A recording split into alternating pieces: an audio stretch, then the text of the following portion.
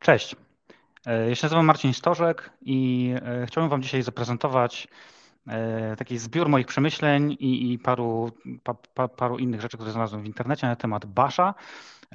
Pozwólcie, że zaprezentuję Wam tutaj, jak tego Basha wytresować. Ja aktualnie pracuję w firmie, w firmie Sumologic, jestem engineering managerem, ale w swojej w swojej ścieżce, w swojej, w swojej karierze zahaczyłem o wiele różnych ról. E, byłem i testerem, i programistą, e, i pracowałem w zespole platformy. E, I na bazie tych, tych doświadczeń chciałbym Wam opowiedzieć właśnie o Baszu, a zwłaszcza na bazie moich doświadczeń z okolic platformy. I wiecie, to ta prezentacja głównie wynika y, z takiego faktu, że my właściwie wszyscy, w pewnym sensie możemy powiedzieć, że jesteśmy takim niesformalizowanym gru, y, niesformalizowaną grupą AA, takich, a właściwie AB. Jesteśmy taką niesformalizowaną grupą anonimowych baszowników. I mówię tak dlatego, że y, pomimo tego, że piszemy w różnych językach i, albo utrzymujemy różne systemy, to zawsze gdzieś tam ten bash się pojawia, czy my tego chcemy, czy my tego nie chcemy niestety. I E, no wiecie, jak, jak to mówią, żadna praca nie hańbi, więc w tym baszu też e, jakby e, trzeba pisać, ale dobrze by było jednak się w tym baszu nauczyć pisać dobrze po prostu i, wiedzieć, co my piszemy. I pozwólcie w takim razie, że ja zacznę, tak jak się takie spotkania rozpoczyna i to będzie brzmiało mniej więcej tak. Cześć, nazywam się Marcin Stożek. Napisałem w baszu więcej kodu niż chciałbym się do tego przyznać osobiście.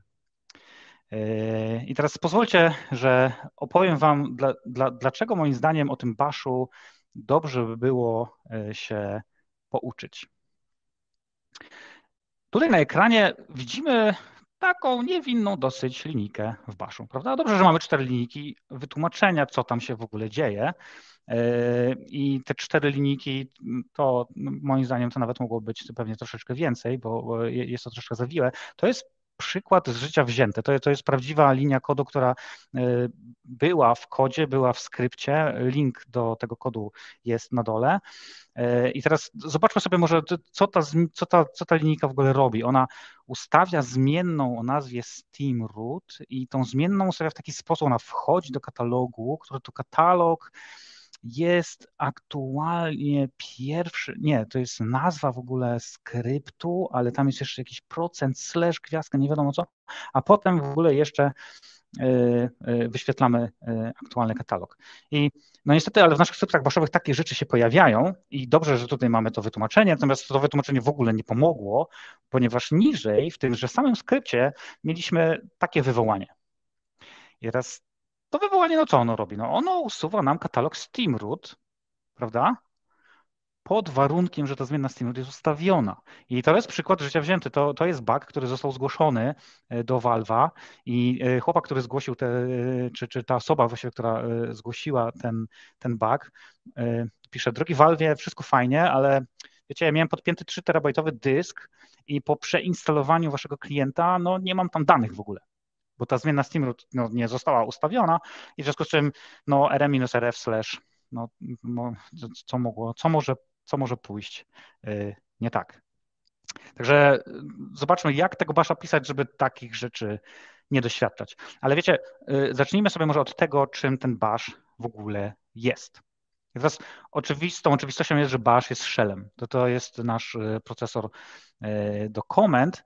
Natomiast trochę nieoczywistą rzeczą jest to, że to jest command language, to, to jest język do komend też i że to jest podtyp y, języków skryptowych.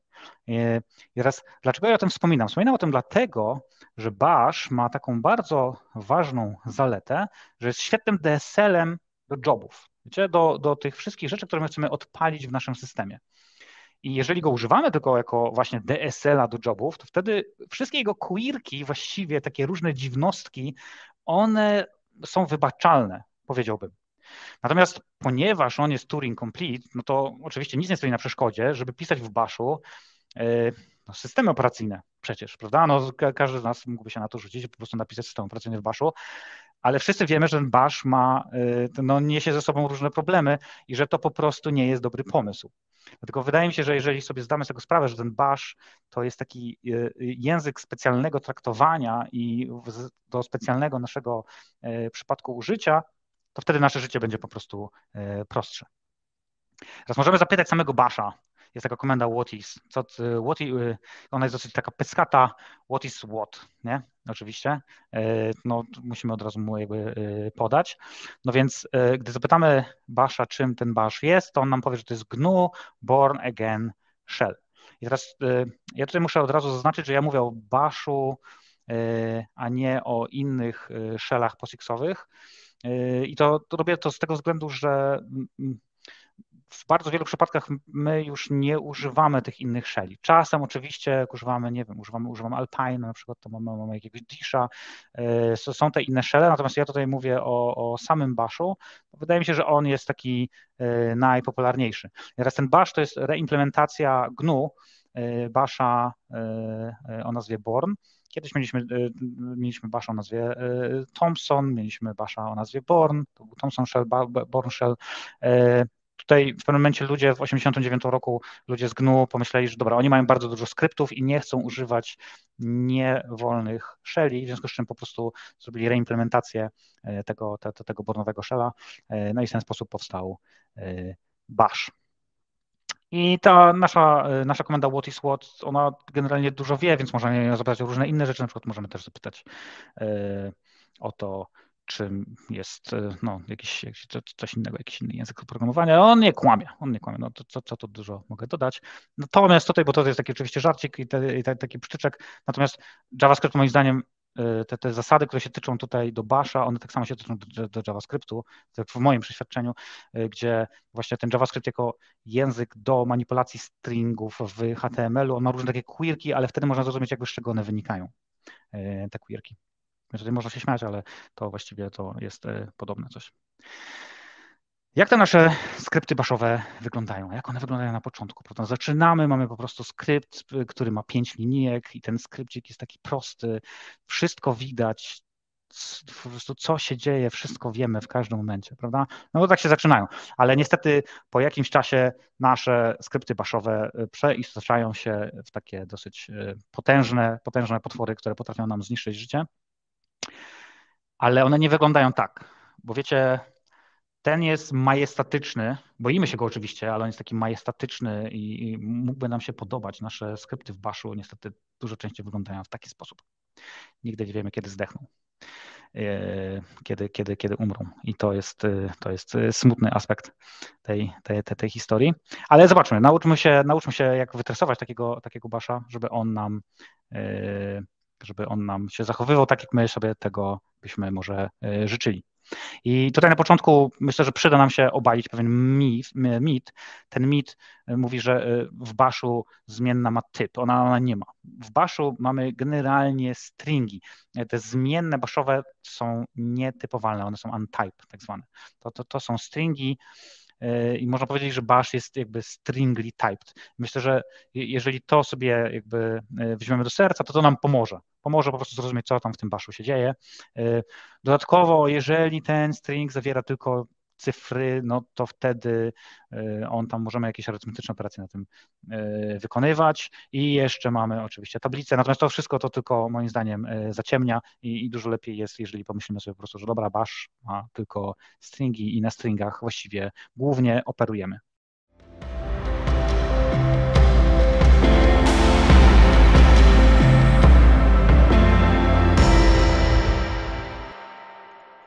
I tutaj taki wstęp do Basza, ponieważ wiem, że dużo, du, dużo z nas pisze w tym Baszu, ale tak naprawdę nigdy się e, albo nie miało czasu, żeby dotrzeć dokumentacji, albo po prostu przez osmozę e, przyjęli te, te, te wiadomości, a dobrze tak się czasem dokopać do źródeł i zobaczyć, czym tak naprawdę są te wszystkie rzeczy. Więc może sobie przejdźmy po tych wszystkich E, informacjach tutaj e, te mm, parametry pozycjonalne 1, 2, 3, 4 to są po prostu kolejne parametry wchodzące do naszego skryptu bądź do funkcji. Mamy też, e, możemy też wyciągnąć ilość tych parametrów, możemy sobie rozwinąć te, na, te, te, te nasze parametry albo, albo jako osobne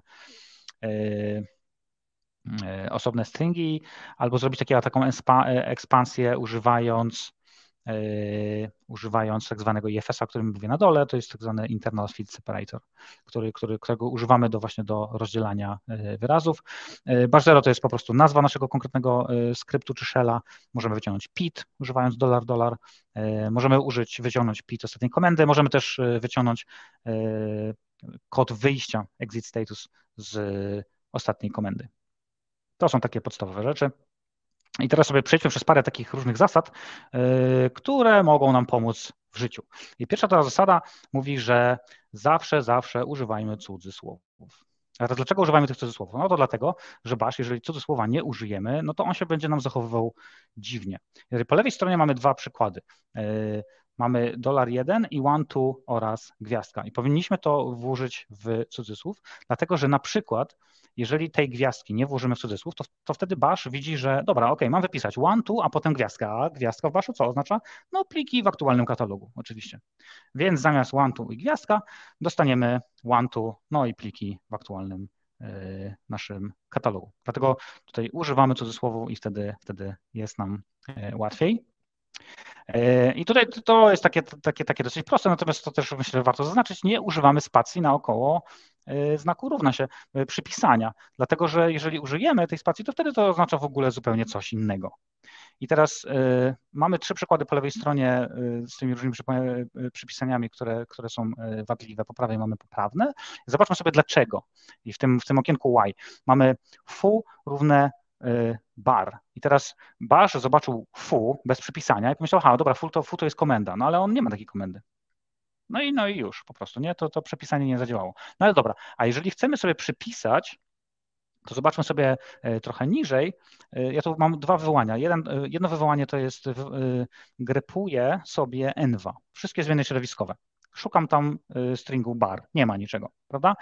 A w następnym wywołaniu ja robię fu równe bar czyli jakby przypisuje coś do zmiennej, a następnie wykonuje komendę. E, wykonuję komendę env, która mi wypisuje po prostu wszystkie zmienne z mojego, e, e, wszystkie moje zmiany środowiskowe z mojego środowiska. Następnie grepuję sobie te, tego bara, szukam tego bara i zobaczmy, że ten fur równy bar on już się pojawił. I to jest taki bardzo fajny sposób na to, żeby wrzucić jakby inline różne zmienne środowiskowe do komendy, którą wywołujemy. Bo tutaj akurat w tym przypadku tutaj wrzuciłem ją po prostu do enva, ale jest taka specjalna zmiana środowiskowa, która się nazywa LD preload i tenże LD preload jest super, dlatego że on po, pozwala nam podmienić w locie e, biblioteki, które będą ładowane najpierw, więc możemy sobie podmienić biblioteki, które będą ładowane do naszej binarki e, i w ten sposób na przykład e, testować nasz kod. No i tutaj mamy już takie jakby połączenie tych dwóch ról. Zobaczmy te, te, te assignment quote, czyli znowu właśnie używajmy cudzysłowów i już tutaj taki pełen przykład, przykład, gdzie piszemy ownership równe ala, potem mamy has, a cat. I teraz co widzi Bash? Co, co on rozumie? No, Bash rozumie, że my mamy zmienną środowiskową, y, która się nazywa ownership i w tej zmiennej jest ala. Potem mamy komendę has i dwa parametry a, cat. Nie? Ale to zupełnie nie to chcieliśmy. Chcieliśmy mieć stringa, który, y, ten string się nazywa ownership, y, który, który, która to zmiana nazywa się ownership i w środku w tej zmiennej jest ala has a cat, więc musimy to po prostu wrzucić w te nasze cudzysłowy i wtedy wszystko jest dużo lepiej. E, zmienne, niezmienne. Bardzo dobrym pomysłem jest używanie, e, używanie e, niezmiennych, nie, nie, niezmiennych zmiennych. Czyli ustawiamy sobie read-only, jeżeli tylko możemy jakąś zmienną ustawić na, na read-only, żeby ona już była niemutowalna i wtedy, wtedy ona nam się już nie będzie w naszym skrypcie zmieniać i tam jest takich parę zasad z tym związanych, na przykład to, że powinniśmy trzymać, y, jakby mieć minimalną ilość takich zmiennych globalnych, yy, niemutowalnych. Najlepiej było używać, yy, nazywać je dużymi, dużymi literami, tak zwanym uppercase'em, no i już na pewno to, żeby robić je read-only, nie? bo wtedy jeżeli mamy read-only, mamy taką zmianę, która jest globalna, to wiemy, że ona będzie przez cały skrypt e, taka sama. To już z samego clean code'u e, jest zasada, chociaż nie, nie, nie tylko clean code'u wujka Boba, ale też takich zdroworozsądkowych zasad, gdzie, gdzie duża ilość takich globalnych zmiennych po jakimś czasie po prostu, po prostu nam może bardzo zaciemniać kod. Możemy sobie nazywać parametry wejściowe. Możemy sobie nazywać parametry wejściowe do samego skryptu baszowego, a możemy też do, do funkcji, które są w tym skrypcie baszowym. I to nie jest takie jakieś piękne, można by powiedzieć. Tutaj widzimy e, e, na górze with the help of dollar i tam jest jeden myślnik default. To mówi, między, to, to mówi e, coś takiego, że ta pierwsza zmienna, która, ten pierwszy parametr jakby wejściowy do funkcji czy do, czy do skryptu, że on będzie miał domyślnie wartość default. I on będzie domyślnie wartość default, taki string po prostu będzie miał w sobie, jeżeli go, jeżeli go nie podamy. Ale tego można użyć bardzo fajnie właśnie jako parametrów do funkcji. Dlatego, że zobaczcie, w tym przykładzie do mamy funkcję, która się nazywa list files i dzięki temu, że ja mam list files, to ja już nie muszę zastanowić, co, co ten kawałek kodu robi, bo ja wiem, co on robi. On po prostu będzie mi wypisywał pliki. I zobaczcie, że potem druga linijka w nim to jest local, czyli zmiana lokalna, type, to, to będzie nazwa tej zmiennej i tutaj przypisujemy wartość z pierwszego parametru albo TMP, czyli będzie defaultowe, domyślne zachowanie, że on domyślnie będzie nam listował pliki, które się będą kończyły na TMP. To jest, takie fajne, to, to, jest taki fajny sposób na to, żeby te, te, te zmienne móc sobie jakoś tam nazywać właśnie. Fajnie by było, też wiedzieć, z jakimi argumentami właściwie ten skrypt został y, wywołany. I to w dowolnym momencie, nie tylko wtedy, kiedy, y, wtedy, kiedy my za pierwszym razem to odpalamy, ale może odpalamy to na przykład dwa razy albo trzy razy, znaczy odpalamy. Chcemy, chcemy trzy razy zobaczyć, co w tych parametrach nam przyszło. I teraz ten przykład z lewej, on jest taki dosyć często używany, czy, czy, czy był używany, czyli mamy parametry wejściowe i to jest, to, to jest pętla. Dla każdego takiego parametru wyjściowego, co my robimy? My wypisujemy sobie ten parametr jako pierwszy, bo to jest pierwszy parametr, a następnie z tej, z tej naszej e, e, tablicy parametrów wejściowych go wyrzucamy. I następnie znowu patrzymy na pierwszy parametr, ponieważ pierwszy wyrzuciliśmy, więc teraz drugi został pierwszym. Wypisujemy pierwszy i znowu go wyrzucamy i tak w kółko. I to jest, to, to jest ok, to działa do momentu, kiedy my będziemy chcieli zobaczyć jeszcze raz te parametry. A dlaczego? No dlatego, że my jak zrobiliśmy shift na każdym elemencie i każdy z tych elementów wyrzuciliśmy, to ich tam już po prostu nie ma. No i koniec. Już y, nie wiemy, z jakimi argumentami został, został wywołany nasz skrypt. To można w bardzo ładny, wydaje mi się, elegancki sposób obejść. Czyli można sobie na początku skryptu naszego zdeklarować y, tablicę i najlepiej, żeby ona była niemutowalna, czyli piszemy sobie declare minus array i ta tablica, ja ją nazywam args po prostu, do tej tablicy wrzucamy właśnie te nasze parametry i teraz już ani nie możemy zmienić tej tablicy, możemy sobie po niej iterować w jakiś taki ładny sposób, y, dostawać, dostawać taki wynik, jakiego się spodziewamy. Y, y, I ja osobiście tego użyłem w skrypcie, który był duży, i to chcę powiedzieć, to, to, to nam to, to, to pomogło w ustaleniu jakby sterowania tym skryptem. Ten skrypt był, ja nie pamiętam, o 2000 linii, 3000 linii, taki był do, do, dosyć spory. Y, przy takich skryptach no to się dosyć często pojawia i, i tutaj polecam taki trik, bo on może właśnie uratować skórę. I teraz tutaj mamy taki przykład, dlaczego w ogóle chcielibyśmy y, to zrobić. I tutaj pokazuję, że na, na dosyć, wydaje mi się, dosyć prostym przykładzie definiuję sobie taką funkcję fun.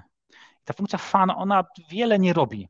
Ona mi tylko przypisuje te moje parametry do zmiennej, i to jest, to, to jest tutaj ta, ta, ważna rzecz. Ja nie iteruję bezpośrednio na tej e, tablicy z parametrami, tylko przypisuję je do zmiennej, a następnie e, mam znowu pętlę po tej zmiennej. I zobaczcie, że w pierwszym przykładzie, jak ja wykonuję funkcję fun i podaję dwa argumenty, za każdym razem będę podawał dwa argumenty.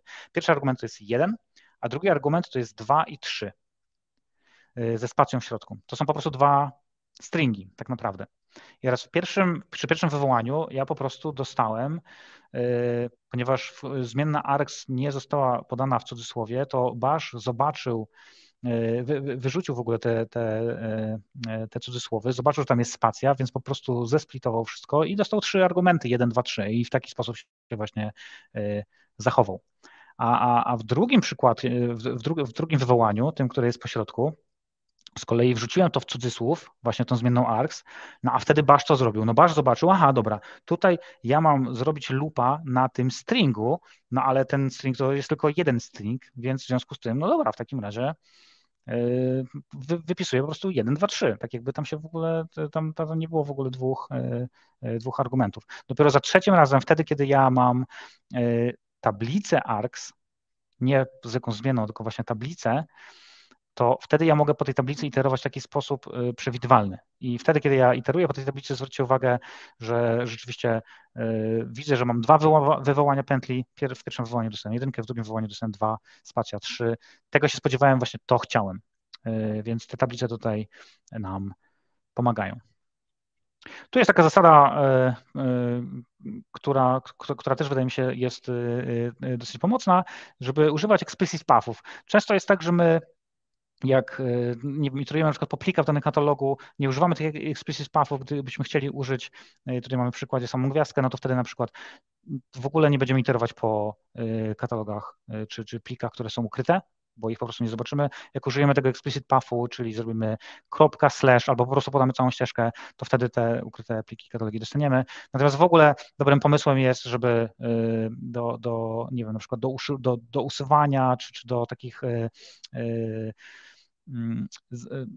do takich zabaw na katalogach, na plikach, to na przykład właśnie używać Finda. W Findzie możemy e, fajnie podać, drogi Findzie, zrób na tych wszystkich plikach, które znalazłeś, nie wiem, tam je usuń, skompresuj, zmień e, i on sobie radzi. Bash, jeżeli mamy bardzo dużo plików, to potrafi nam się wywalić, bo on wtedy mówi, że na przykład ma, nie wiem, no jest za dużo tych plików i on nie jest w stanie ich zmieścić w buforze dla, dla parametrów. W Bashu istnieje takie coś jak subshell. I tutaj mamy pierwszy przykład takiego subshella. To jest subshell, który nam zwraca wartość z tego, co się w tym subshellu y, wydarzyło. I teraz te subshelle można używać na dwa, na dwa sposoby. Pierwszy to jest właśnie dolar i nawiasy, a drugi to baktiki. I problem z tymi baktikami jest taki, że właściwie to te baktiki to one są bardzo podobne do pojedynczych cudzysłowów, prawda? A co więcej, jak zapytacie kogoś, kto jest nowy y, w, y, w administracji, w programowaniu, to ci ludzie często nawet sobie nie do końca zdają sprawę, że w ogóle takie coś jak baktik istnieje. Gdzie ten baktik, nie? A on tam jest po góry, u góry po lewej zazwyczaj. Yy, także te baktiki to są takie, no nie za fajne. Tych baktików, które są starszym sposobem, to się, to, to się niedobrze czyta, yy, takie, te, yy, no i niełatwo się je zagnieżdża. A gdybyśmy, gdybyśmy chcieli używać tego nowszego sposobu, czyli właśnie tych nawiasów, no to one mają dużo, mają dużo zalet, między innymi właśnie to, to, to zagnieżdżanie nam tutaj fajnie pomaga.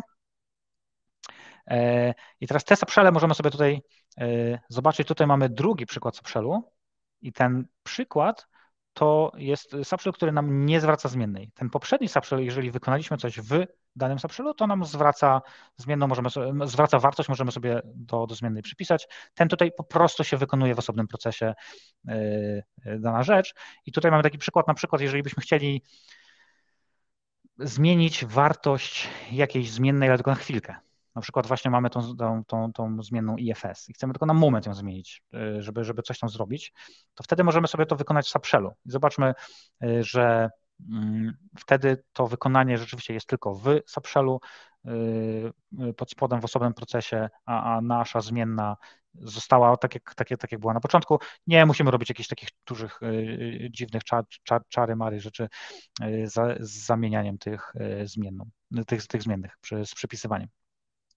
I tutaj mamy taki przykład, e, gdzie zobaczcie, że e, to jest dokładnie tak, jak właśnie ja mówię, nie? czyli właśnie przepisuję sobie zmienną, e, do zmiennej o nazwie var, wartość 1, nie? wypisuję sobie tego, tego vara, następnie w subshellu tego vara ustawiam na tu, wywołuję tego vara, dostaję tu, rzeczywiście tak jak się spodziewałem, a następnie wywołuję po prostu vara, ale już bez tego subshella, bez podmianki i mam jakby z powrotem, to z powrotem łana.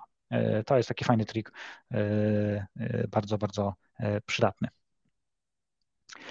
Możemy sobie splitować pipeline. I to jest też taka rzecz, która właściwie przychodzi z czasem do człowieka, jak tak trochę tego kodu widział i trochę go już zjadł, bo zazwyczaj jak my używamy naszych pipeline'ów, tych pionowych kresek tutaj, no to to, to nie wygląda tak jak w naszym przykładzie don't, bo to nie jest command 1 pipeline, command 2 pipeline, command 3 pipeline, bo zazwyczaj to jest tak najpierw robimy finda, potem robimy grepa, potem coś tam z sedem chcemy wyciągnąć, potem na dockerze właśnie to zaaplikować do dockera, potem chcemy wyciągnąć tam trzecią kolumnę z czegoś tam. To są takie strasznie długie tasiemce i te nasze pipy, one się pojawiają tylko właśnie tam, o tu jest pipe, o tu jest pipe. Nigdy nie wiadomo, gdzie rekomenda się kończy. Jest super sposobem to, żeby, e, tak jak mamy na dole podane, te komendy kończyć właśnie takim e, e, backslashem i po prostu w linijce pod, pod, pod spodem podawać naszą komendę. I wtedy, wtedy to, jest, to jest fajne z wielu względów. Po pierwsze, to my dokładnie widzimy, które komendy, jakby które parametry są do której komendy. No, na pierwszy rzut oka od razu widać, gdzie się dana komenda kończy na przykład. Po drugie, też widać, jak robimy zmianę, to, że aha, robiliśmy tylko w tej jednej komendzie zmianę, albo w ogóle na przykład dodaliśmy jakąś komendę w międzyczasie, to też po prostu dodaliśmy nową linię. To bardzo fajnie wygląda potem w diffie. Nie? Jak mamy takiego tasiemca spajpowanego, no to wtedy to, to, to, wtedy to nie jest jakieś tam e, szczególnie, e, szczególnie czytelne. I mamy tutaj już taki drugi przykład, który, który nie jest samym pipem, natomiast jest e, sposobem na sterowanie. Nasze komendy, one mogą zwracać nam e, kody e, powrotu. Teraz te kody powrotu to, to tak nie do końca działa, jakbyśmy chcieli tego używać na funkcjach, to trzeba być bardzo, bardzo ostrożnym, ponieważ to są komendy, ko, ko, tak jak w programach zwykle, to, to jest po prostu kod powrotu danego programu, a nie string, który tenże program na, na, na, standardowy, na standardowe wyjście y, wypisał. Y, ja mówię, że to nie zadziała w funkcji, ponieważ bash jako taki działa generalnie po prostu na stringach, więc z funkcji nie bardzo można sobie zwrócić, tylko z błędu możemy sobie zwrócić właśnie tego, tego stringa. To jest takie trochę zamieszane. Natomiast jeżeli działamy na zwykłych komendach, to taka, taka logika bolowska, ona, ona nam tutaj zadziała. To rzeczywiście to będzie tak, że ta komenda pierwsza, druga i trzecia, one się wykonają po kolei. Jeżeli któraś z nich nie zadziała, to wykona nam się E, czwarta. Nie? Tutaj takie właśnie sterowanie możemy mieć i wtedy też znowu możemy właśnie sobie tego bez, e, backslasha e, użyć, żeby, żeby, żeby ładnie sobie te nasze komendy wypisać. Jest takie coś, co się nazywa Pure Bash e, Bible i on, e, tam jest dużo takich przykładów, które mówią, w jaki sposób użyć Basha, żeby nie używać tych e, innych narzędzi, które też może być może mamy wbudowane w system. To nam pomaga trochę przy przenoszalności, bo na przykład jak mamy tutaj, nie wiem, jakiegoś bardzo takiego obciętego właśnie Alpina, to się może okazać, że my nie mamy jakiegoś programu na przykład, nie? Ale moglibyśmy to na przykład opisać jakoś tam w Bashu. Problem jest taki, że to nie jest jakieś szczególnie dobrze czytelne, bo ten Bash oczywiście niestety niestety, ale piękny nie jest. E, natomiast warto wiedzieć, że takie rzeczy się da zrobić i że dużo z tych rzeczy naprawdę da się zrobić w samym baszu. Tak jak mówiłem, bash jest Turing Complete, więc da, da się zrobić wszystko. E, pytanie tylko po co? Natomiast gdyby była taka potrzeba, gdybyście nie mieli jakiegoś tula, to warto sobie zajrzeć do tego Pure Basha, bo, bo można sobie e, w ten sposób właśnie ułatwić życie. Tutaj mamy taki najciekawszy test, wydaje mi się, który jest w tej, w tym, w tej, w tej, w tej prezentacji. I on się wiąże z właśnie z testem, bo te, te nawiasy tutaj kwadratowe, które otwieramy, dwa nawiasy albo, albo pojedyncze, to to jest, to, to jest testowanie. Do tego używamy do, do ifów. I teraz dlaczego ja mówię, że to jest ciekawe? Ano dlatego, że wydaje mi się, że jeżeli ktoś używa basza, to naprawdę powinien używać tych podwójnych, a nie pojedynczych. A teraz dlaczego? Dlatego, że te pojedyncze, to one się bardzo często nie zachowują w ogóle tak, jakbyśmy tego chcieli. I tutaj mamy dwa przykłady. W tym, y, w tym, w tym u, góry, u góry y, kwadraciku don't mamy dwa przykłady y, w prostokącie. Pierwszy przykład jest, no, po prostu jest zły, bo tam jest cudzysłów w ogóle nie z tej strony i tak dalej, to, to testowanie to w ogóle nie działa, ale drugi to jest źródło samego zła. Ja musiałem tutaj przetestować, czy jeden jest większy od dwa. I wiecie, to jest tak napisane bardzo, bardzo niewinnie, ale to w ogóle nie robi tego, co nam się wydaje, że to robi. Bo to, to sprawdza, czy jeden jest większy od dwa. No i odpowiedź oczywiście, bo zadaję w taki sposób pytanie, odpowiedź mi nie, zupełnie nie. W takim razie, czy może to sprawdza czy leksykograficznie jeden jest większy od dwa? No nie. Bo dlaczego nie? Dlatego, że brakuje backslasha przed, e, przed, przed tym e, nawiasem takim e, trój, trójkątnym, przed znakiem większym. Ta komenda sprawdza nam, czy string jedynka, który jest no po prostu niezerowy, czyli że on istnieje. Ponieważ tam jest jeden w tym stringu, no to on istnieje, więc to będzie true.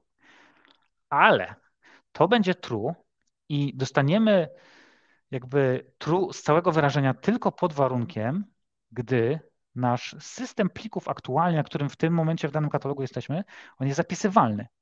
Ponieważ my w drugiej części mówimy, aha, dobra, zrzuć mi to do pliku. Zrzuć mi stdout do pliku. o nazwie 2. To jest zupełnie coś, czego my się nie spodziewamy zrobić. I zobaczcie sobie w tym na, na dole, możecie sobie jakby sami to przetestować na swoich komputerach. Jak użyjecie pojedynczych tych cudzysłów, tych, przepraszam, tych nawiasów, to to w ogóle nie zadziała. Jak, jak użycie, użyjecie podwójnych, na samym dole to widać. Czy jeden jest większy od dwa? No, no nie jest. Nie jest. W końcu mamy takie zachowanie, jakiego się spodziewamy, a nie jakieś takie właśnie dziwne związane z tym, jak tam basz pod spodem jest zbudowany i dlaczego tak, a nie inaczej. To jest taki trik, który, który y, to, to jest taka rzecz, która wydaje mi się jest y, bardzo istotna, żeby, żeby to wiedzieć. Ale dobra, porozmawiamy sobie o, o, o, tym, jak, jak programować, jak pisać y, jakieś takie fajne, fajne, większe skrypty w Bashu, bo to, bo to się da. Do tego używajmy funkcji. Funkcje nam bardzo pomagają, ponieważ one nam mówią jakby co my chcemy osiągnąć, a nie jak my chcemy osiągnąć. Więc ja w tym momencie mogę mieć albo trzy linijki, które mi będą usuwały pliki temp, albo mogę mieć oczywiście zdefiniowane gdzieś te trzy linijki, muszę mieć, ale mogę je mieć zdefiniowane w funkcie, funkcji, a ta funkcja może się nazywać delete temp files. Ja później robię tylko jedno wywołanie, napiszę delete temp files i natychmiast wiem, co tam się powinno wydarzyć. Więc nie tylko muszę czytać kod i sprawdzać, co się dzieje, jednocześnie też mo mogę widzieć, jaka była intencja jeżeli moja nazwa funkcji oczywiście e, jest, e, jest poprawna. Nie? Potem przychodzi na myśl taki, dowcip o Perlu, który słyszałem, że Perlu, jak się ktoś namęczył, żeby Perla napisać, to teraz niech się ktoś męczy, żeby go właściwie przeczytać. Nie? To tutaj troszeczkę też tak jest e, z tym naszym baszem. Natomiast my możemy pomagać sobie, sobie w przyszłości, naszym koleżankom i kolegom zespołu, żeby, żeby, żeby ten basz był jakby lepiej utrzymywalny. Te funkcje w baszu istnieją, i one sprawiają na przykład, że możemy mieć zmienne lokalne, a jak możemy mieć zmienne lokalne, no to to w ogóle już jest super. Dzięki temu nie mamy wszystkiego globalnego, ale też właśnie kod jest taki prostszy do debugowania, e, może być właśnie taki samodokumentujący się po, po nazwie na przykład, nie? Możemy mieć nazwy parametrów wejściowych. E, wydaje mi się, że dużo łatwiej zrozumieć, jak ten nasz kod e, przepływa, jak on będzie wykonywany. Nie? Teraz ta, ta, ta lokalność zmiennej, no ta lokalność zmiennej jest dosyć istotna, bo tak jak powiedziałem, właśnie wszystkie zmienne w, w Bashu by default są y, globalne, no to nie pomaga, bo to nam zaśmieca generalnie. Używamy jakiejś zmiennej, nagle się okazuje, że ta zmienna była użyta gdzieś indziej, ona ma jakąś wartość, której się w ogóle nie spodziewaliśmy. Y, tutaj możemy sobie zobaczyć w tym przykładzie, że y, te, te, te, ta lokalność, ona działa i rzeczywiście zmienna o nazwie blach jest globalna i ona została po prostu przepisana, pomimo tego, że została przepisana w funkcji, to i tak nam to wyciekło na zewnątrz. E, zmienna lokalna mech nadpisała tą globalną mech e, i, i no, zachowało się to, no powiedzmy, że tak, jakbyśmy chcieli. Teraz dlaczego mówię, że tak, jakbyśmy chcieli? No bo to tak nie do końca działa, bo widzicie, jak mamy funkcje zagnieżdżone, czyli funkcje w funkcji, no to już tak różowo nie jest, bo niestety te zmienne nie wyciekają na zewnątrz, ale wyciekają do środka. Więc w każdej funkcji następnej, która została wywołana z danej funkcji, już te zmienne, no niestety są widoczne. I ja jeszcze nie znalazłem sposobu na to, żeby je y, przykryć niczym. Ale to moim zdaniem nie powinno sprawić, że nie będziemy tych funkcji używać, ponieważ same funkcje mają więcej niż, niż, niż tylko tą zaletę. Y, na przykład możemy mieć funkcję main, możemy mieć entry point do naszego skryptu i ten entry point jest świetny, dlatego że bardzo często jest tak, że ten skrypt jest pisany, tak wiecie, od góry do dołu. Tutaj sobie zdefiniuję coś, tutaj coś wykonam, tutaj może mam jakąś nawet funkcję, a potem coś tam robię, a potem znowu coś robię, tutaj ustawiam.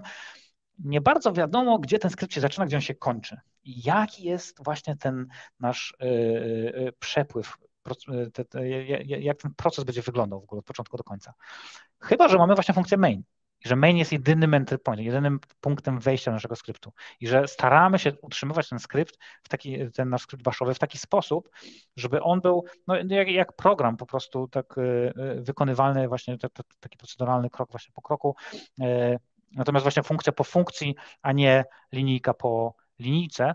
I ten main bardzo, bardzo dużo pomaga. On, jeżeli tylko zaczniemy używać main, zaczniecie używać main swoich e, skryptów baszowych, to zobaczycie, że te skrypty, one nagle zaczynają mieć strukturę i nagle przestajecie się bać je zmieniać, bo nie ma po drodze, nie wykonują się jakieś e, dziwne kroki, tylko to sterowanie jest takie dużo, dużo bardziej e, czytelne. No ale dobra, jeżeli mamy funkcję w baszu, no to mamy też takie języki, które właściwie są nazywane, że są językami funkcyjnymi. To czy tak też jest w Bashu? No więc okazuje się, że zupełnie tak. W Bashu możemy pisać y, oprogramowanie funkcjonalne. Co więcej, to funkcjonalne y, programowanie w Bashu to nie jest wymysł. To jest coś, czego ja konkretnie właśnie pamiętam, e, e, czego my używaliśmy w skrypcie, o którym ja Wam opowiadałem wcześniej, w tym skrypcie, który miał tam 2 e, czy 3 tysiące linii. I tam była taka historia, że taki, taki kolega z naszego zespołu, Paweł, który właśnie dołączył do firmy i on, jakby bardzo, bardzo fajny, bardzo mądry gość, on powiedział, że nie, no co wy z tym skryptem, to tak się, nie, nie, no dajcie mi chwilę, ja to naprawię. I wiecie co, on usiadł i naprawił przerobił ileś funkcji właśnie w taki sposób, żeby one się odpalały w sposób funkcyjny i nagle się okazało, że ten skrypt, który po pierwsze w ogóle to, jak on przyszedł, miał 4000 linii, on go po prostu skrócił chyba do trzech, to nagle ten skrypt był używalny. Nagle, ten, nagle w tym skrypcie dało się wyrazić pewne rzeczy, które wcześniej no, były takie strasznie, strasznie karkołomne. Nie? Y, I to działa, to naprawdę działa. I tutaj macie przykład. Mamy tutaj dwie funkcje. Mamy funkcję y, stało się i mamy funkcję stało. Jedna z nich wy, wypisuje na ekran zgasła mi fajka mi zgasła, druga wypisuje, że łazienka jest zamknięta. Do tego wszystkiego mamy trzecią funkcję. Ta trzecia funkcja to jest taki dekorator. taki dekorator dla ubogich, on po prostu takie doda dwa, e, dwa powiedzmy e, przekierowania z jednej, z jednej i z drugiej strony. I zobaczcie, że jak poniżej wy, wy, wykonam te funkcje, podam te dwie funkcje, funkcje tak naprawdę, podaję funkcję co się, stało się, podaję funkcję co się, stało, to na, to, to rezultatem jest rzeczywiście udekorowany string. I, te, y, i, I to dekorowanie, ono się odbyło w taki sposób, to, to w językach y, funkcyjnych właśnie jest ważne, y, w momencie, kiedy dopiero ja musiałem jakby wykonać jakby na ostatnim kroku wykonać tą funkcję. To nie jest tak, że ja podaję tą funkcję i ona natychmiast jest wykonywana. Gdybym ja tutaj zamiast wypisywać stringa, na przykład wypisał, nie wiem, aktualny timestamp, to ta funkcja stało się jest wykonywana dopiero jakby w ostatnim możliwym momencie. I to jest właśnie to, co sprawia, że w tym baszu rzeczywiście da się pisać e, funkcyjnie. Dzięki temu właśnie, że jest taki e, e, lazy, lazy execution, jest do tego trochę przykładów, jak zobaczycie, tam są, tutaj akurat podaję właśnie cztery linki ludzi, którzy piszą o tym baszu funkcjonalnym. Ja właśnie mówię z mojego własnego doświadczenia, że ten funkcjonalny bash, no on się po prostu, po prostu się sprawdził. I jeżeli ktoś ma zaawansowany skrypt, bardzo taki pokomplikowany, to prawdopodobnie być, być może dałoby się właśnie uniknąć, czy, czy jakoś go uprościć, uniknąć jakichś problemów, używając właśnie tych, tego, tego funkcyjnego podejścia. No ale zobaczmy. A może mamy też monadę, bo mówimy o baszu, programowanie funkcyjne, nie? Jest takie coś jak monada. Wiecie co? Okazuje się, że tak. I teraz ja nie będę wam tłumaczył, co, co to monada jest, bo nawet gdybym próbował, e, nawet gdybym wiedział, to nie jestem w stanie tego wytłumaczyć. E, niestety, taka jest e, zasada dotycząca monad. Natomiast, proszę bardzo, są ludzie, którzy podeszli do tego w sposób taki jakby e, naukowy i udowadniają, że tak, właśnie w Baszu mamy monadę, że ten nasz pipe operator właśnie to jest ta monada. To takie, takie, takie trivia raczej to niewiele zmieni w naszym, w naszym życiu codziennym, natomiast, natomiast niezmiennie mnie to zawsze bawi. Dobra, e, teraz tak powoli się zbliżamy do końca, natomiast e, e, opowiem Wam jeszcze o, o paru innych takich ciekawostkach. I pierwszą z nich jest Unofficial Strict Mode. Teraz dlaczego ten Unofficial Strict Mode jest fajny? Dlatego, że on nam pozwala uniknąć pewnych, na początku pewnych takich problemów, które, które wynikają z tego po prostu, jak ten bash się zachowuje domyślnie i one są dosyć pomocne. Na przykład właśnie to, że Możemy ustawić, że bash będzie nam wychodził z błędem, jeżeli jakakolwiek komenda w nim wyjdzie, zakończy się błędem. Dlaczego to, jest, dlaczego to może być fajne? No wyobraźmy sobie taką sytuację, kiedy na przykład mamy w CI zapięty skrypt baszowy. Ten skrypt baszowy nam puszuje, wypycha jakieś obrazy, jakieś artefakty gdzieś. No i na przykład, no wypycha, wypycha, wypycha, ale jeżeli on nam się nie, nie wywali na błędzie, czyli my nie sprawdzamy tego błędu sami, a on nam się nie wywali na błędzie, no to wtedy my myślimy, że wypychamy, a potem sprawdzamy na produkcji, no nie ma tego. Miała być taka wersja, ale nie ma w ogóle, gdzie ta wersja jest. No zbudowało się, zbudowało. Nie? Ustawiamy sobie set minus e i nagle widzimy właśnie, że, że coś się nie udało. Tutaj też jest, e, mam, mam, mam taką, e, taką zabawną historyjkę do powiedzenia, bo jak zacząłem opowiadać, jak zacząłem prezentować e, tutaj te, te, te, te rzeczy dotyczące Basha, to podszedł taki kolega z, z, z, firmy i mówi, ty właśnie fajnie, bo ja widzisz, ostatnio w takim skrypcie sobie tam właśnie walczyłem, każdą komendę owrapowałem. Każda komenda była właśnie wykonaj się, sprawdź kod błędu, wykonaj się, sprawdź kod błędu. No teraz mógł, mógł to po prostu wszystko wyrzucić. Nie? Już nie potrzebował wrapera, po prostu set minus e i już. E, I działa. Nie? Set minus u. Nie pozwalamy na niezdefiniowane zmienne. Konia z rzędem e, te, temu, kto się nie nadział na użycie zmiennej, która była niezdefiniowana. To jest źródło wszelkiego zła i e, no, są takie, są takie jakby grzechy pierworodne różnych, różnych języków, to jest grzech pierworodny Basza. Między innymi, nie tylko, oczywiście, na pozwalanie na użycie tych niezdefiniowanych zmiennych, ponieważ no, to niestety sprawia, że używamy jakiejś zmiennej nagle się okazuje, aha, nie ta, nie ta, gdzieś mi się omknął palec na przykład, nie? Zwłaszcza, że w Baszu często to my piszemy nie, mm, teraz już może mniej, teraz może więcej używamy edytorów kodu, natomiast często było tak, że używaliśmy na przykład Vima, w tym Vimie czasem było szybciej napisać niż na przykład użyć e, autouzupełniania, no można było, można było się tam e, pomylić, nie? Więc to set minus u nam nas przy tym uchroni.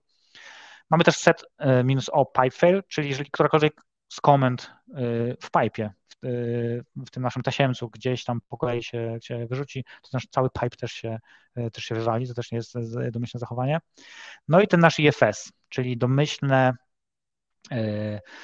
domyślne rozwinięcie. Teraz to domyślne rozwinięcie, ono tutaj w tej, tej, w tej zmiennej mamy dwa znaki. Ja tutaj mówię, że mamy dwa znaki, ponieważ domyślnie są trzy. Domyślnie jest nowa linia, domyślnie jest tabulator oraz spacja. A my bardzo rzadko chcemy tę spację tam. Zwłaszcza jeżeli na przykład używamy tego skryptu do działań na plikach, to te pliki, one mogą mieć spację w swojej nazwie. No i już nam po prostu przestaje wszystko działać. Nie? Ta, ta, ta spacja jest tutaj, wydaje mi się, że yy, yy, no, no złą domyślną wartością. Lepiej mieć to ustawione właśnie tylko na newliny i na, i na taby. Wtedy to zachowanie jest takie bardziej, yy, bardziej naturalne, wydaje mi się. Przynajmniej, przynajmniej, przynajmniej dla mnie y, to tak działa. E, fajny jest e, sposób na czyszczenie po sobie. Możemy czyścić, możemy ustawić naszą, nasz skrypt baszowy, żeby on się po prostu, e, żeby on się kończył jakimś tam zachowaniem. Na przykład, że jeżeli chcę wyjść z, z mojego skryptu, na przykład, nie wiem, mam ustawione gdzieś set minus e, czyli jak będzie jakiś błąd, to żeby skrypt wyszedł, to ustawiam sobie takiego trapa na na przykład właśnie wyjście i mówię, aha, dobra, na tym trapie usuń mi tam wszystkie pliki z cache'u, wszystkie pliki z cache'u. Albo na przykład, jeżeli bawię się maszynami w AWS-ie, no to usuń mi po prostu wszystkie maszyny w AWS-ie, które ja natworzyłem, które są tylko takimi, e, takie, takie, e, takie, takimi maszynami tymczasowymi, nie? E, bo one, one tanie nie są. Jest parę takich, tak, tak, takich kodów, na które, na które się możemy zapiąć, takich, takich wydarzeń, takich eventów. No i fajnie, fajnie można sobie te, te, tych trapów używać, zapiąć sobie konkretne właśnie funkcje na konkretne wydarzenia. To jest świetny feature, jeżeli chcecie debugować swój skrypt baszowy. I to jest chyba coś, czego ja używam najczęściej, chcę, szczerze powiedziawszy. Czyli za każdym razem, jeżeli chcę zobaczyć, co się dzieje w moim skrypcie baszowym, bo, bo on mi nie działa, to jest taka zmienna minus x i on, on nam y, ustawia właśnie taki, taki debug mode. I ten minus x to ja mogę podać w wielu miejscach, mogę go podać w inwokacji, mogę go podać jako pierwszy, y, pier, y, pier, pierwsza linijka, mogę na przykład tylko jedną funkcję sobie właśnie owrapować te, tym modem debugowym, mogę w ogóle napisać właśnie na przykład bash minus x i podać ten, ten mój skrypt. To jest świetne, ponieważ on mi wykona, on mi pokaże krok po kroku, co ten bash mi tam narobił. I tutaj mamy przykład. Mamy, y, mamy taki prosty skrypcik test SH i ten skrypcik ma no, bardzo prosty. Ma tylko jedną funkcję i ma jedno tylko wywołanie maina. I zobaczcie sobie y, poniżej, tam gdzie jest bash minus x, ja wykonuję ten test i podaję dwa parametry, parametr 1 oraz parametr 2 spacja 3. I ja teraz widzę krok po kroku, co tam się w ogóle wydarzyło. Że po pierwsze, najpierw się wykonał main, który to main dostał dwa parametry że w, następnej, e, w następnym kroku jestem w ogóle w pętli. I w tej pętli wykonuję właśnie for i in, tam właśnie i ta pętla, i że jestem w pierwszym elemencie i tym pierwszym elementem jest eco one. A potem znowu jestem w pętli i znowu mam eco tu spacja 3. To jest świetne, ponieważ nic nie musimy robić. Nie, możemy, nie musimy robić eco-driven development, nie musimy tego, nie wiem, wypisać tego eco, dodawać go tam do każdej linijki po kolei, bo to eco mamy tutaj za darmo. To jest takie eco-development na sterydach. Po prostu nagle mam, nagle mam taki powiedzmy tracing y, zrobiony dla każdego wywołania, y, dla każdego, dla, dla, dla każdego y, nowego przejścia w sterowaniu, w skrypcie. Możemy sobie też logować w bardzo fajny sposób y, nasze rzeczy, w taki sposób, żeby one szły nie tylko na standardowy output, ale też od razu do pliku. I tutaj mamy taki właśnie przykład, jak to zrobić. Możemy sobie ustawić właśnie nasz log file y, i ten log file y, używa, tutaj zobaczcie, w tym, w tym przypadku on jest tak, tak, właśnie ustawiony, że ten log file to będzie plik, on, który będzie miał rozszerzenie log, ale on będzie miał ten, ten, ten base name z aktualnej nazwy mojego skryptu, ja bym mógł tutaj na przykład jeszcze dokleić PIDA, czyli właśnie ten y, y, dolar, dolar. I wtedy miałbym, wtedy miałbym na przykład do kolejnych wywołań miałbym osobne pliki logów, bo teraz to będę miał po prostu jednego loga, który będę, którego będę, do którego tam będę dopisywał. Nie? E, natomiast e, fajne są też te funkcje, ponieważ możemy dzięki temu nie po prostu, wiecie, po prostu wypisywać ICO i tu ktoś wypisze w taki sposób, tu ktoś wypisze w jakiś inny sposób tutaj, doda timestamp tutaj, nie doda timestampu, tutaj mamy to sposób taki ustandaryzowany, info warning, error fatal, tak jak właściwie byśmy się spodziewali, ładnie wyjustowane wszystko, zrzucane natychmiast do pliku, fatal kończy się wyjściem, no czegoż chcieć jakby więcej. Nie? To jest też taka świetna zasada, używajmy shellchecka. Ten shellcheck to jest taki program, który pozwala na statyczną analizę y, naszego kodu i on nam będzie krzyczał, jak używamy czegoś w nie taki sposób, jak byśmy powinni, jak używamy nie, nie, nie, nie takiej y, komendy i on nam podpowie, jak na przykład używamy czegoś w jakiś sposób, jakiegoś programu, y, y, y, jakiegoś prostego programu wbudowanego, a moglibyśmy go użyć w jakiś taki inny sposób. Nie?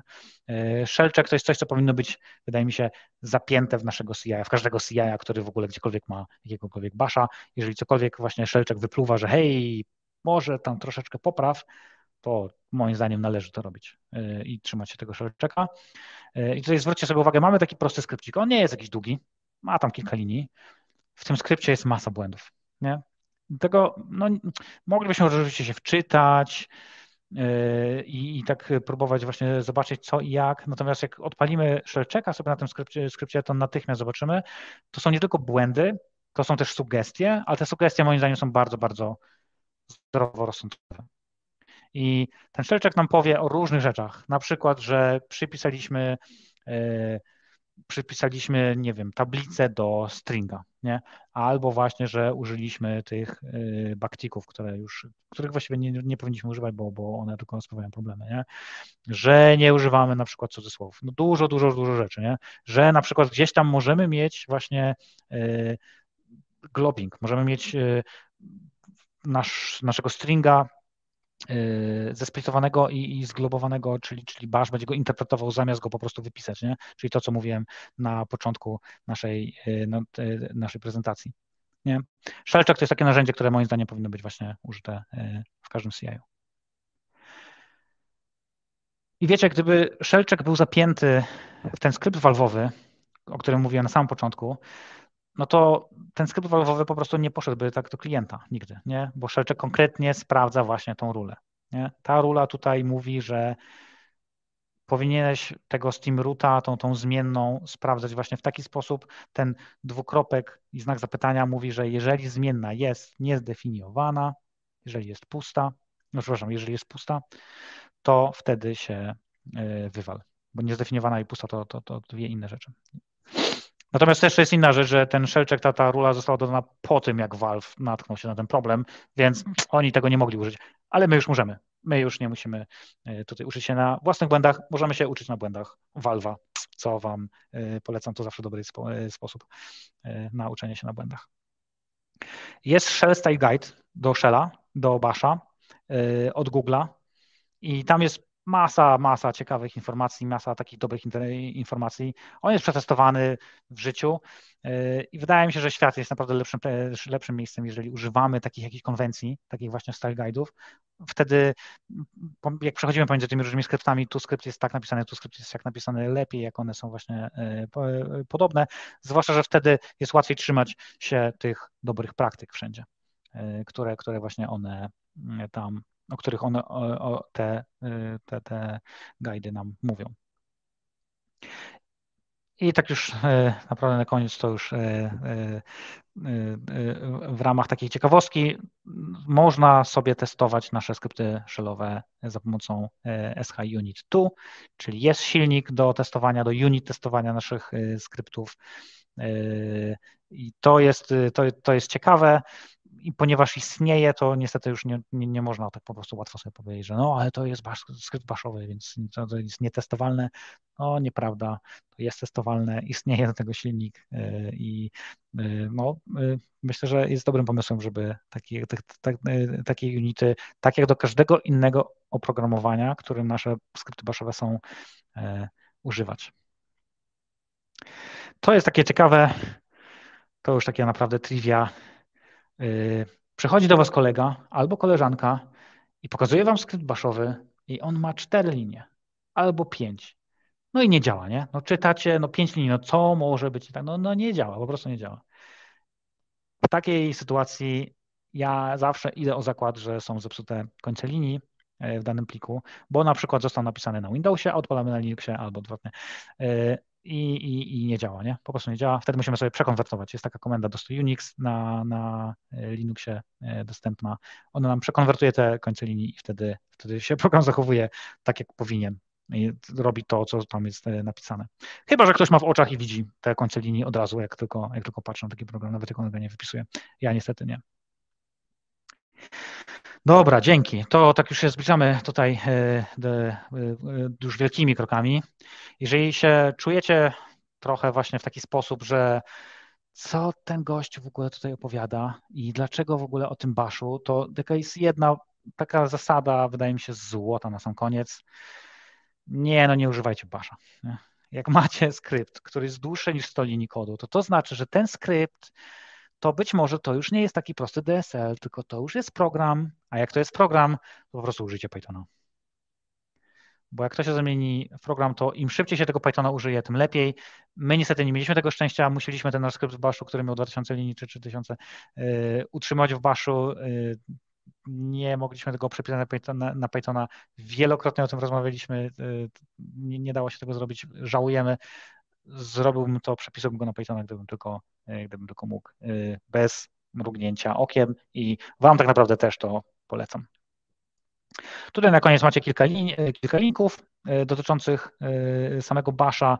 Jeżeli Was to zaciekawiło, polecam, polecam naprawdę sobie czasem spojrzeć, co i jak się w takim Bashu robi, dlatego że ta wiedza, którą my nabywamy tylko i wyłącznie z, pod, podczas używania oprogramowania, no to jednak ona musi zostać uzupełniona, wydaje mi się, od czasu do czasu właśnie poprzez takie jakieś e, zewnętrzne e, informacje, ponieważ no, możemy mieć jakieś dziury, e, a te, a, te, a te sprawiają, że potem te nasze skrypty baszowe są właśnie takie, o niestety koślawe, nie? kulawe, one tak nie do końca robią to, co byśmy chcieli.